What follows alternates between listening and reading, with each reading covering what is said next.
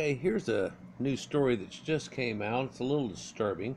It's about ancient Celtic runes, and uh, the headline of this is Viking symbols and runes may soon be banned by the Swedish government. Depictions of runes and Norse symbols such as Thor's hammer may soon be banned in Sweden, according to some sources. God knows why. Hate groups have been using many of these symbols for years, and there are stories circulating that the government is discussing whether the ancient symbols may be offending ethnic minorities. Oh, well, you don't want to ruin your heritage to appease third worlders that have moved into your country. I mean, when you, you know, when you're in Rome, do as the Romans do, and so on. I mean, mm, seriously, I mean, think about it. Uh, you you wouldn't want to ruin your own heritage for that. If you're worried about offending ethnic minorities, you'd worry more about it offending your own populace. I'm, I'm quite certain of that if you had any logic. But that seems to be escaping a lot of these countries here lately. The runes and Norse symbols that may be banned, as RT reports, Swedish Justice Minister Morgan Johansson is currently researching if the banning of the ancient Norse symbols would deter hate groups. I think you're going to get a lot of people pissed off, and uh, it, that it, it, won't stand. You're you're not supposed to ruin your heritage for um, other people. I mean, uh, they're not ruining their heritage for you in coming to you. They're going to keep their same Maya Muhammad thing and a flying horse from the Aryans and everything, right? The red-headed Muhammad, right? So, I mean, and he, he was a prophet, right? He wasn't a god or anything. That was a prophet. I mean, you know, peace be upon him or whatever. Rest in peace is what that really means, I guess. But uh, isn't he a prophet like Ezekiel or Isaiah? considers their most important prophet. He came at the end and told them a new thing, and they haven't had another one since, apparently. But uh, yeah, that's an Abrahamic religion though that's had a extra prophet added on to it there at the end. It seems right, but that's okay. That, that's okay. You can have your thing, but you can't ruin us when you try to have your thing. See, that's the freedom of religion, but the freedom of us having religion too is that we get to keep doing what we were doing before you got here. That we don't have to change when you come here. You should be the one trying to change, for you're leaving that culture and coming into this one for a reason. If you're not coming for a reason of leaving your culture somewhat and coming into this, then surely you wouldn't be turning your culture against the culture that you're moving into. That would be disgusting, wouldn't it? Let's continue. According to the Gateway Pundit, much of the government's concern stems from the neo Nazi groups such as the Nordic resistance movement, using runes in their logos and associating the writing and symbols with messages of hate. In particular, the government is looking to ban the letter Tyr or T, which is part of the runic alphabet. This same symbol is used by the neo Nazis as their logo. I thought it was a swastika because I mean a T is not. Let's see if I can find one in here. A T, that's a T right there. That's a T. This is a S. Looks like a Nazi S with a, you know, more like a lightning bolt. That. That's a Z. That's a lightning bolt. This is a F. Here's a B. And it is a B. That looks kind of like an H with a bend, but that's an N. Uh, these letters, there's an R. Here's an O. I think that's upside down, but that's that's the O model. And I think that was used in World War II. But uh, why would they want to do something like this? It's terrible. Voice of Europe explains that their official reason for banning the runes is that Nazis used some of them during the Second World War. For example, the Odal rune that means O, I just showed you that, and the Tyr Tiwaz rune that means T. They use the swastika, and the swastika goes from way back when. Way back, 16,000 years ago, in mammoth bones and all kinds of stuff. Swastikas come from the Proto Indo Europeans that ran all this type stuff course, that's Aryans too. Oh no. But that swastika is even found in Jewish synagogues and things if you look close enough. And then again, their Jewish star is found in India. And their stuff is just symbolism that goes with a bunch of different people. Yeah, and people have taken a symbol, but now if somebody wants to take a symbol now, that's not cool. But these other people have taken a symbol. Is that? Oh, but that's okay because it's not a hate thing. Well, no, it does cause problems though, and then everybody has to cuckle to that because of the yeah. See, see, there's problems with all of this, but if we're going to accept some, then do we accept all? Or no, no, no, you just do what you do, boo. And that's it. Why would European countries ruin their heritage for people moving in? That's almost I can't understand the logic behind even the thought process here. I don't know what's happened to Europe here lately, but the proposed ban may also expand to include the other Norse symbols and traditional Viking jewelry, bearing the symbols such as Mjolnir, Thor's hammer, and the Valknut and the, and the Vegvisir. Why? So it's got the symbol, you know, Led Zeppelin's got that symbol in their thing. If you look here, there's a bull god with his horns going on and the hammer of Thor, and it doesn't really look like Mjolnir like what we think of with the stick and just the big flat end like a hammer, which is a symbol of actually forming iron. You know, uh, when you try to pull a sword out of a stone, what you're really doing is smelting ore and stones, and then later hammering and pounding and making a, oh snap that's pulling a sword from a stone but uh, if you look at this, this looks a lot like the things we found in the Philippines and those chop weapons that they had with the lightning things on the back and so on. And of course, this does have to do with Thor and lightning and so on. So funny how that all connects. It's really closely, closely related, just like the Proto-Indo-European languages and a lot of the symbolism and the people that carried this for so many thousands of years aren't going to sit and cuckle under because somebody else feels offended when they come to your country. Now that's no, no, no, no, no, no. Imagine, think about that.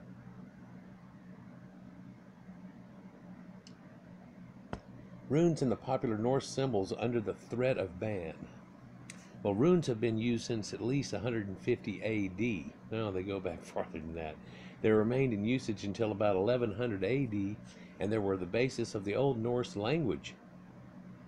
So we have a, a heritage behind it. If you're going to keep up with old Jewish, we're going to keep up with old Norse. The most characteristic part of the language is the Elder Futhark and the oldest runic alphabet. Apart from their important role in writing, runes were also often used as protective symbols and have been found in artifacts carved in wood, bone, and stone. Even now, large runestones covered in runic script can be found across Scandinavia. Yeah, you used to make symbols with your hands too when you said a certain thing. It's almost like that Mother Mary Hail of Grace when you cross yourself. Yeah, over over the runes, uh, over the ages, runes have appeared in many different areas of life. Fortune tellers, people who follow esoteric practices, people with pagan beliefs. Oh, let's not just call anybody except for the, the Bible pagan, are we? Let's call it just anything else. So, are you going to call India pagan? Are you going to call, let's not do that to people let's just say that it's not biblical. So let's say it's a religion. It's just as equal as any of the other ones, although it seems like everybody's going towards that one religion. But that's all starting to have a little bit of an effect too. Let's continue. Even now, large runestones covered in runic script can be found across Scandinavia. So, apart from their role in early writing, runes were often used as protective symbols. And uh, yes, it's pretty neat. Uh, today, many people have a variation of these runes even in their homes today. And you have Celtic symbols and all kinds of stuff. The Bluetooth logo comes from the runic equivalent of the letters H and B put together. Uh, yeah, I didn't see a H a minute ago. Uh, we saw the B though, and it kind of looks like a pointy B, two mountains, if you will. The initials of Harold Bluetooth, who was a Danish Viking uh, age ruler. And so that's where they got the name of the Bluetooth from, by the way. Isn't that neat? So, yeah, so here's an H, and there's the B, and then you put it together and you get HB, and that's that's Harold Bluetooth. So that's the Bluetooth nickname. Huh. As mentioned above, Thor's hammer Now, Bluetooth too. These people used to cut these ridges into their teeth, and they would take this blue dye and put it in their mouth and make their teeth look blue. And they painted blue over themselves. A lot of people in Celtics, it's all known and everything. As mentioned above, Thor's hammer, the Valknut, and the Vegvisir are the three Norse symbols in which may be banned. Hmm. Oh yeah. Well, so let's. Well, uh, uh, how about how about we ban them from using their symbols? Come on, people. This is about Doi. I mean, it just strikes me. Thor's hammer, named Mjolnir, means lightning, and the Vikings used to believe that Thor's hammering caused the thunder and lightning during storms. Yeah, it's a storm god thing. It's the same guy that Baal is. That's the same guy that Yahweh shows up on Mount Sinai as a storm.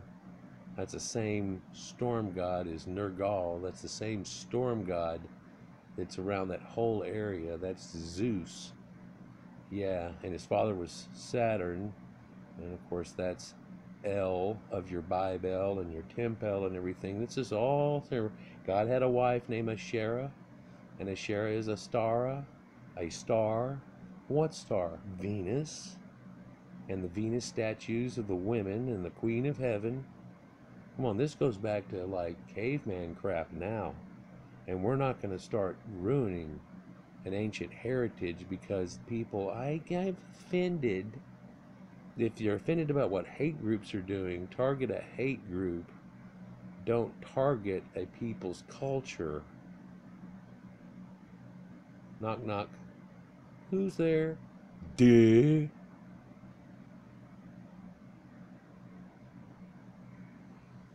The Valknut, also known as Hrungnir's heart and the heart of Vala, Borromean triangles, and the heart of the slain was a Norse symbol for the death in a battle. It was sacred. It's the knot of the slain warrior, and it appears on funerary stone carvings as a representation of the afterlife and the never-changing circle. And you're not going to ban that crap. It's like, uh, oh, we're gonna we're gonna ban the the flower of life or the cross. People used to believe that drawing the symbol in one stroke supposedly protected a person from evil spirits. Yeah, that's what I was telling you, like marking yourself like Mother Mary and all that type stuff. Yeah, it's it, it in fact it's where that idea comes from. It's it, and people had this idea. It's it, it goes through so many of these cultures. Everybody everybody's kicking that same song. It's got a little different flavor, but there's a lot of versions of that same song going on here. Hopefully, I've showed y'all a lot of this here recently, but somebody over in Sweden needs to watch some of my vids. Vingasavir is a symbolic compass. The name can be translated from Icelandic as that which shows the way. It was a magical device which one used to help in sea navigation, a compass, where you could magnetize a piece of metal and put it onto water on a cork and it would float, but it would aim. And if you use that, and a medieval sextant, simplistic sextant type of device, knowing what it should have been versus what it is, you can work out where you are. So it's a magical device which was once used to help the sea in navigation. It was carved on vessels that were going out to sea in order to ensure their safe return. You know, there's a lot of things people do. Now we bust a bottle of wine on these things and stuff and so on. Uh, now we've got a symbol here of the uh, of the winds of the world almost concept, and and if if you look, you know, uh, it's got tridents on the end of these things, right? On a lot of them, there'll be tridents on the end of them, and then there's symbols that make up that. Uh, I showed you the earliest language ever written, and it's got these symbols in it too off here. But then you see stuff that's, oh, that looks just like it comes. That looks like a fleur de lis on its side, but whenever it stood up straight. That's a symbol that's from Carthaginians and so on too. You can see this is a jet pillar, but this looks like Tanit herself. This this is this is it. This is the Queen of Heaven off Carthage type of thing, you know. Well, let's see if we were living up there and we aim down. Yeah, that's that way. This is this way. All these different things. What are they going to do? This symbol too? Vigasir, one of the Icelandic mag magical staves. Oh, really? Backlash against the banning of Norse symbols. Well, many Swedish groups are fighting back against the proposed prohibition because they see the runes and Norse symbols as an important part of their shared history.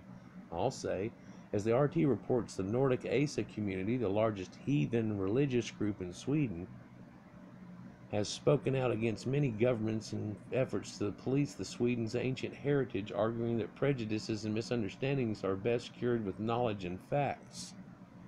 Well, I would agree with that 100%. And let me tell you something. If you're going to refer to it as a heathen religion, then you're going to have a problem coming to grips with anybody who has any type of Celtic background, aren't you? Heathen? Are we back to that type of BS? Heathen, pagan, heathen. That's just, that's right, right. You're not going to call people in India pagan, and you're not going to call this that either. Sure, some people came in and called it pagan and took over with another religion now, but not all. And so now in a modern day, are we going to go back to this pagan? Are people going to start having pitchforks and little torches running around? What are we to make of this?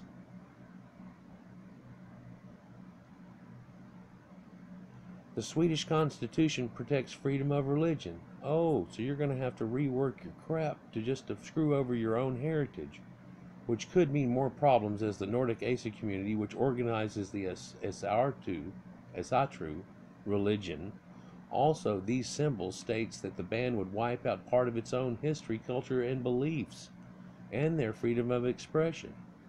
Oh, wait, so you're willing to do that to your own people and your own heritage just because you offend people that have come here from third world countries? You're up in Sweden, for God's sakes, land of the Vikings and the Swedish bikini team. You have ice and things that they may have never seen except for on a few mountaintops. What are they doing and what are you doing? Hmm. Yeah, Markle, Markle, Markle, Markle. Also, use of these symbols states that the band would wipe out part of their own history, culture, and beliefs and our freedom of expression. A petition against the potential ban started by the Nordic ASA community has more than 14,000 signatures as of Thursday so apparently this is recent. And according to the Voice of Europe, there will also be a manifestation against the prohibition held outside of Parliament in Stockholm on Friday, May 24th. Huh. And so here's here's ancient runes and stones that you may not know. And cur- reading the cursed rune stones of Sweden. Oh no.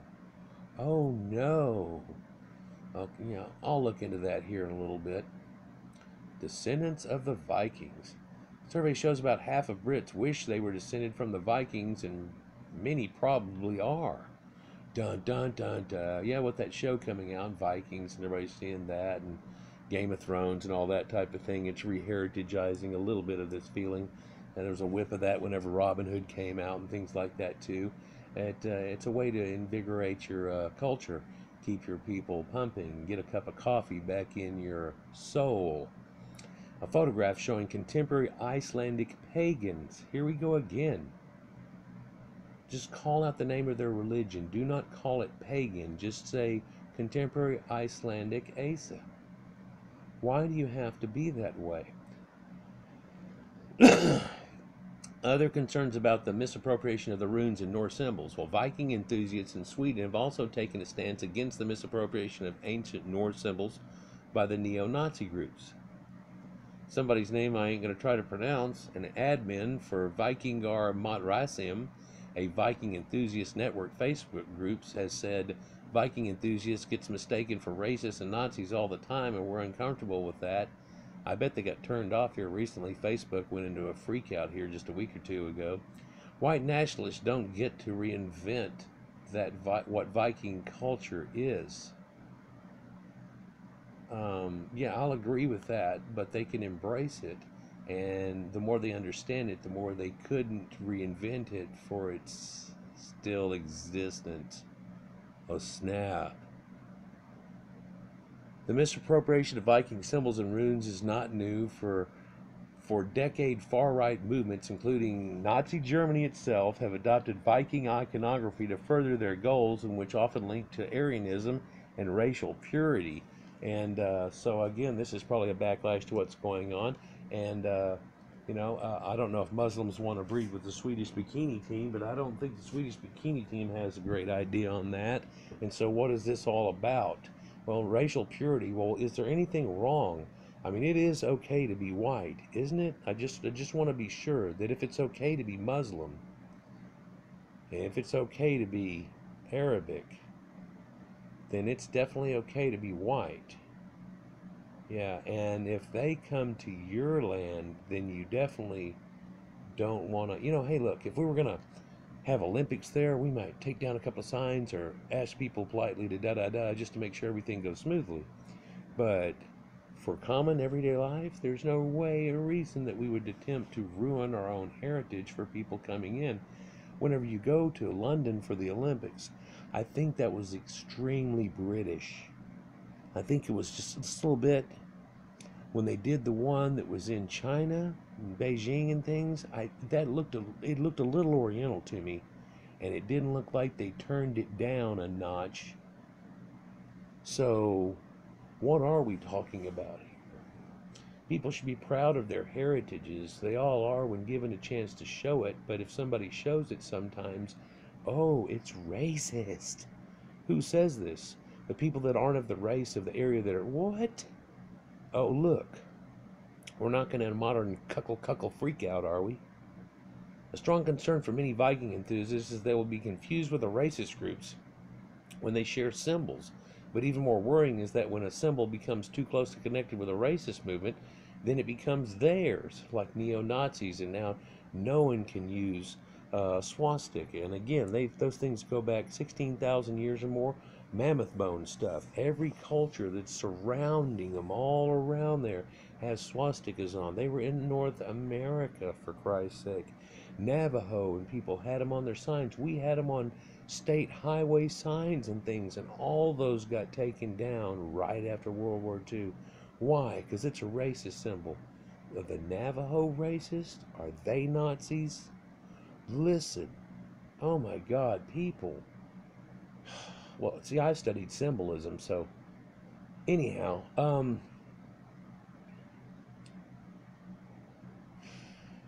so symbols eventually belong to racists, and eventually it can be seen as form as inciting racial hatred to show a symbol. Then the symbol is removed from common cultural use. Uh, there's yeah, there's your swastika thing, and we're not going to do that we see that as a silly mistake now. Look up swastika. I've done a few videos about it just to clarify here. One recently, one a year and a half ago or so, there's one in my Aryan, uh, a few of my Aryan things where it shows this symbology going and that it's not, it's not something that's from World War II people in any way, shape, or form. That just because they stuck a sticker on them doesn't mean that now the people that have that sticker are racists. That's disgusting let's say I like smiley face, have a nice day, and some group pulls that off as a hate group going around shooting people have a nice day on, so now no one can have a nice day anymore. Knock, knock. Who's there? Dear. Don't say dear who. The Viking Museum of Viking in Scania, Sweden. Yeah. Yeah, there's a few other places and the big grass mounds and the built-ins off of it. It's incredible, you know, and, it, and it's got a heritage to it. It's not just up in that one point right there, people, but the heritage of the people that were brushed upon with this and held this belief for thousands of years and a long, long way back uh, shouldn't be appropriate, misappropriated in any way. Let's look here. I mean, I don't know if I see any Muslims in the shot. That person's wearing a longer dress. Does it have a cowling on? I mean, generally you can tell them for that, or do Muslims come to this country and start wearing normal clothes and blue jeans? Is this red-headed lady? Is, is that a Muslim? I'm not sure. I don't see any there, but who are we offending? Is it offensive to throw a fit in a country that has a heritage about their heritage? Is that offensive? Is it offensive to any of you that people want to ruin your heritage, heritage because other people said they were offended by yours? Does it offend you that they get offended by your heritage while trying to be in your country? Knock, knock.